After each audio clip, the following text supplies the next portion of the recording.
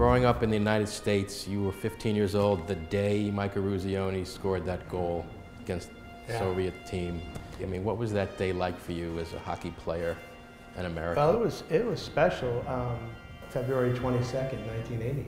The feeling that when he scored that goal, um, it changed everything.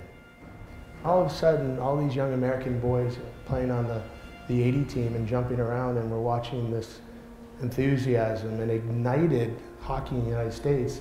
And for a young 15 year old like myself watching all this, I finally thought, you know, maybe, maybe I could play in the Olympics.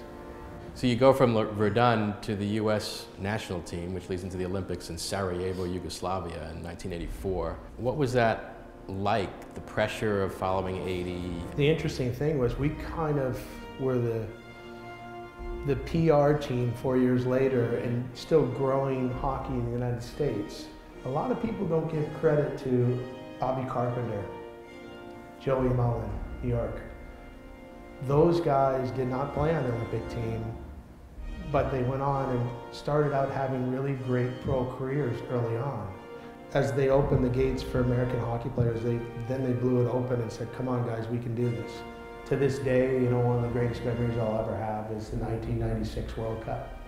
And I guess that's probably a fitting end because next year is the World Cup, and it was 20 years earlier that the United States won the World Cup.